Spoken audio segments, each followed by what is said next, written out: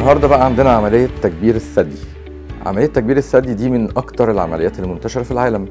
يعني هي غالبا في كل جراحات التجميل لو عملنا إحصائيات هي رقم اتنين بعد عمليات نحت القوام فعملية تكبير الثدي دي عملية مهمة قوي وفي نفس الوقت هي من أبسط العمليات في جراحة التجميل. دي طريقة التكبير بتبقى عن طريق حاجتين يا إما تكبير الثدي عن طريق السيليكون أو الحشوة اللي هو الصناعي أو إن إحنا ناخد دهون من الجسم ونعيد توزيعها ونحطها في الثدي.